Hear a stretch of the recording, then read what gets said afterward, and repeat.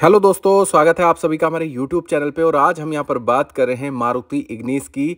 Ignis का ये variant है जेटा टॉप से नीचे वाला वेरिएंट आता है। काफ़ी अच्छे फीचर्स इसमें हमें देखने को मिल जाएँगे और ब्लैक एडिशन में ये काफ़ी अच्छा देखने को मिल रहा है।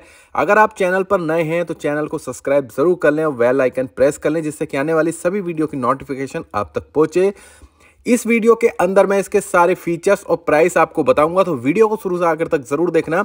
सबसे पहले अगर बात करें इसके इंजन की तो इसमें ग्यारह सीसी चार सिलेंडर इंजन आपको देखने को मिल जाएगा, जो कि मैक्सिमम पावर इक्यासी पॉइंट अस्सी बी पावर जनरेट करता है 6000 आरपीएम पर, और वहीं पर टॉर्क एक सौ तेरह एम पावर जनरेट करता है, बयालीस सौ आरपीएम पर।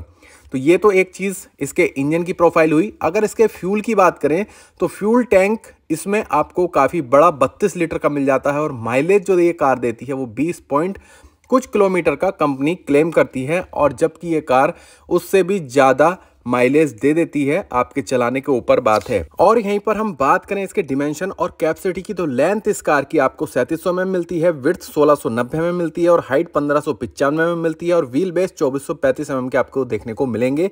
इस कार के अंदर जो वज़न है, वो आठ सौ के समथिंग आपको देखने को मिलेगा। फाइव डोर इसमें आपको मिल जाते हैं। पीछे का लुक आप देख ही रहे हैं, कितना शानदार लुक हमें देखने को मिल जाता है। तो ये सारी प्रोफ़ाइल है। तो इस हिसाब से देखा जाए तो कार काफ़ी बड़ी है, प्राइस काफ़ी कम है, फीचर्स काफ़ी ज़्यादा है।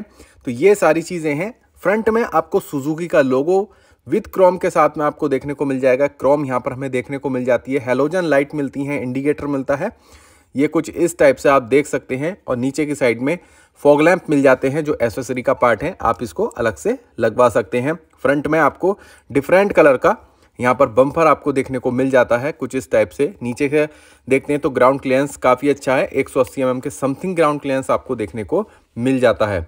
और यहीं पर हम देखते हैं ऊपर की साइड में तो बाइपर भी मिल जाते हैं। और इसके व्हील साइज़ की अगर बात करें तो 15 इंच का व्हील साइज़ हमें देखने को यहाँ पर मिल जाता है सुजुकी का लोगो फ्रंट में डिस्क ब्रेक तो ये चीज़ है, ये ऊपर देख रहे हैं तो दो बाइपर आपको मिल जाते हैं।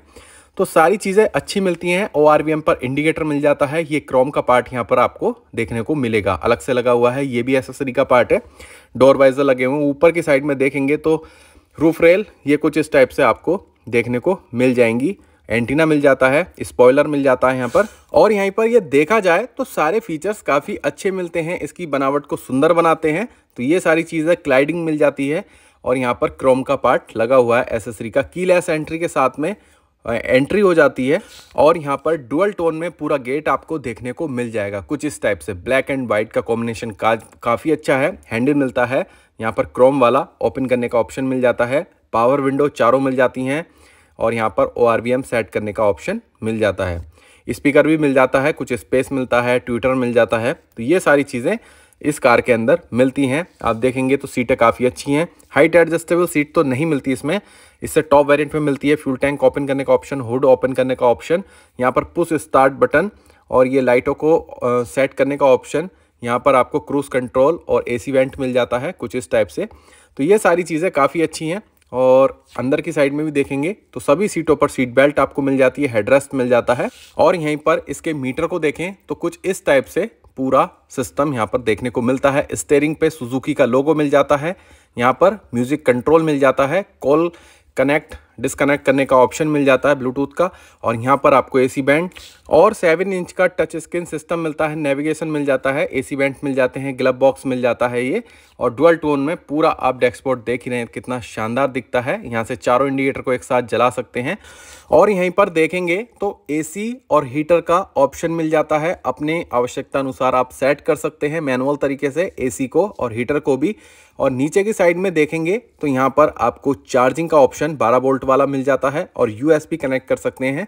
और यहाँ पर कुछ स्पेस कप होल्डर और गे लीवर कुछ इस टाइप से यहाँ पर हैंड ब्रेक और सीट बेल्ट कनेक्ट करने का ऑप्शन मिलता है। यहाँ पर देखेंगे तो मिरर मैनुअल है और यहाँ पर लाइटें हैं तो आप जला सकते हैं रीडिंग लैम्प और ये जो सनवाइज़र सनवाइज़र पर आपको मिरर और हैंडल मिल जाता है, इधर मिरर नहीं मिलता। तो ये सारी चीज़ें आपको देखने को मिल जाती हैं, ये सारे फीचर्स मिल जाते हैं इग्निस के अंदर। अब हम दूसरी तरफ़ चलते हैं गेट पर और वहाँ पर देखते हैं हमें और क्या फीचर्स मिलते हैं को ड्राइवर साइड वाले गेट पर। तो कुछ इस टाइप से पूरा सिंपल गेट मिल जाता है। एक पावर विंडो का एक ऑप्शन मिलता है, बस ये सारी चीज़ मिल जाती है। बाकी स्पीकर ट्विटर वो तो रहेगा ही और यहाँ पर आप देखेंगे तो एयरबैग मिल जाता है। और कुछ इस टाइप से देखते हैं तो अंदर की साइड में काफ़ी स्पेस हमें देखने को मिलता है। बिल्कुल सिंपल केविन आपको देखने को मिल जाएगा। और यहीं पर डुअल टोन का जो ऑप्शन अंदर देखने को मिलता है तो इस कार के इंटीरियर को और ज़्यादा बेस्ट बनाता है। यहाँ पर पावर विंडो का एक ऑप्शन मिल जाता है। डुअल टोन में यहाँ पर भी वर्क आता है कुछ स्पेस और ये कुछ इस टाइप से सारी चीज़ें मिल जाती हैं। जैसे बोतल होल्डर है स्पीकर है, ये सारी चीज़ें मिलती हैं। यहाँ पर आप देख रहे हैं तो कुछ इस टाइप से पूरा पीछे की प्रोफ़ाइल आपको देखने को मिल रही है। और यहाँ पर आपके हेडरेस्ट मिल जाते हैं, पीछे की साइड में। देखेंगे तो पार्सल ट्रे भी इसमें मिल जाती है। स्पेस की बात करें तो आप देख लीजिए स्पेस कितना ज़्यादा है इस कार के अंदर। तो स्पेस की कोई कमी नहीं है। मारुति की किसी भी कार में कोई कमी नहीं होती स्पेस की। तो स्पेस नेक्सा के अंदर भर भर कर आपको देखने को मिलेगा। अगर बात करें इसके सेफ्टी फीचर की तो ABS system central locking power door lock child safety door lock anti थी पलारम दो एयरबैग इसमें मिलते हैं सीट बेल्ट वार्निंग और इसमें आपको इंजन इम्ब्लॉयज़र और इसमें crash sensor engine check warning EBD electronic stable control speed alert speed sensing auto door lock जैसे फ़ंक्शन आपको मिलते हैं और हिल असिस्ट भी फ़ंक्शन इसमें मिल जाएगा। तो फ़ंक्शन काफ़ी अच्छे मिलते हैं। यहाँ पर देखेंगे तो ड्रम ब्रेक मिलेंगे पीछे की साइड में। सुजुकी का लोगो आपको एलॉय पे मिल जाता है। यहाँ पर आपका फ्यूल टैंक आ जाता है, जो आपको लगभग लगभग मिलता है बत्तीस लीटर का। लाइट है कुछ इस टाइप से। और इग्निस यहाँ पर लिखा हुआ है, सुजुकी का लोगो है, क्रोम का ये पार्ट लगा हुआ है। और ये देखेंगे तो बाइपर, यहाँ पर डीफोगर, यहाँ पर लाइट और यहाँ पर स्पॉइलर। तो ये सारी चीज़ें मिलती हैं और पार्किंग सेंसर भी मिल जाते हैं। ये और कैमरा आपका एसेसरी का पार्ट है, कुछ इस टाइप से ये लगा हुआ है। और यहाँ पर देखेंगे तो काफ़ी अच्छा रिफ्लेक्टर लाइट्स हैं और ये पार्किंग सेंसर आपको मिलते ही हैं, चार पार्किंग सेंसर तो ये सारी चीज़ें इसमें आपको मिलेंगी। ग्राउंड क्लियरेंस आप देख रहे हैं, कितना क्लियर हमें देखने को मिल रहा है। तो ये सारी चीज़ें मिलता ही हैं और बूट स्पेस इसमें काफ़ी बड़ा 260 लीटर का मिल जाता है। तो ये एक अच्छा ऑप्शन है कि बूट स्पेस इस कार के अंदर ज़्यादा बड़ा मिल जाता है। तो मेरे हिसाब से तो भाई पूरी प्रोफ़ाइल बिल्कुल परफेक्ट है। आप बता सकते हैं कमेंट करके कि ये कार आपको कैसी लगी। तो ये सारी चीज़ें, मैंने सारी चीज़ें आपको ज़्यादातर बता दी हैं। अगर आपको कुछ पूछना है तो कमेंट कर कर सकते हैं। मैं कमेंट का जवाब आपको दे दूँगा। अब सबसे मेन चीज़ आती है कि इस कार के पैसे कितने हैं भाई? तो इस कार की जो एक शोरूम कीमत आपको देखने को मिलेगी, वो छः लाख छियानवे हज़ार रुपये के समथिंग आपको देखने को मिलेगी। और बाकी ऑन रोड कीमत जो है, वो आपको लगभग लगभग सात लाख नब्बे हज़ार रुपये के समथिंग देखने को मिल जाएगी। तो ये सारी चीज़ें हैं। अगर ये वीडियो अगर आपको अच्छी लगी हो तो वीडियो को लाइक करें, चैनल को सब्सक्राइब ज़रूर करें। मिलते हैं नेक्स्ट वीडियो में। बहुत जल्द